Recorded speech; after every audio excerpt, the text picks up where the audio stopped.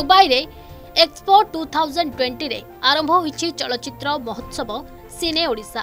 ଦେଶ ବାହାରେ ପ୍ରଥମ କରି ଦୁବାଇ ଇଣ୍ଡିଆ ପ୍ୟାଭିଲିୟନର ବହୁମୁଖୀ ହଲ୍ରେ ଚାଲିଥିବା ଏକ୍ସପୋ ଟୁ ଥାଉଜେଣ୍ଡ ଟ୍ୱେଣ୍ଟିରେ ଆରମ୍ଭ ହୋଇଛି ଓଡ଼ିଆ ସିନେମାର ଚଳଚ୍ଚିତ୍ର ମହୋତ୍ସବ।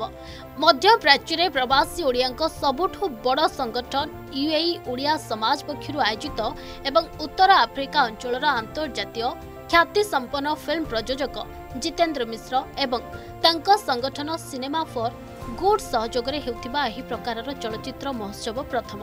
ଓଡ଼ିଶାର ଉତ୍କର୍ଷ କଳା ଓ ସାହିତ୍ୟ ଓ ସାମାଜିକ ମୂଲ୍ୟବୋଧକୁ ଫିଲ୍ମ ଜରିଆରେ ବିଶ୍ୱ ଆଗରେ ପ୍ରଦର୍ଶିତ କରିବା ଏହି ଚଳଚ୍ଚିତ୍ର ମହୋତ୍ସବର ମୁଖ୍ୟ ଉଦ୍ଦେଶ୍ୟ।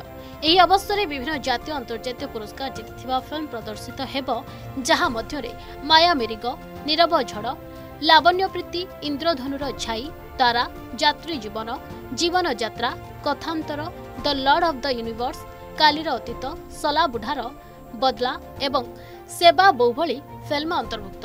ଓଡ଼ିଆ ଫିଲ୍ମ ଇଣ୍ଡଷ୍ଟ୍ରି ପାଇଁ ଏହା ଗର୍ବର ବିଷୟ ବୋଲି କହିଛନ୍ତି ୟୁଏଇ ଓଡ଼ିଶା ସମାଜର ସଭାପତି ଅମୀୟ କୁମାର ମିଶ୍ର।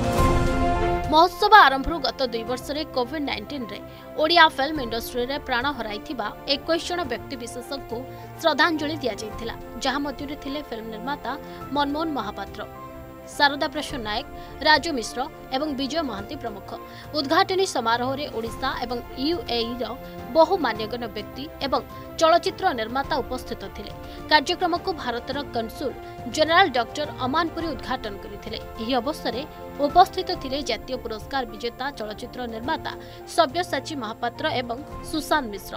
ୟୁଏଇରେ ପଇଁତିରିଶତମ ୱାର୍ଲଡ ଏକ୍ସପୋ ଏକତିରିଶ ମାର୍ଚ୍ଚ ଦୁଇ ହଜାର ବାଇଶ ପର୍ଯ୍ୟନ୍ତ ଚାଲିବ ଯେଉଁଥିରେ ଶହେ ବୟାନବେଟି ଦେଶ ଅଂଶଗ୍ରହଣ କରୁଛନ୍ତି।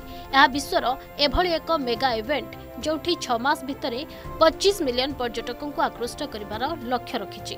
Bureau report Argus news.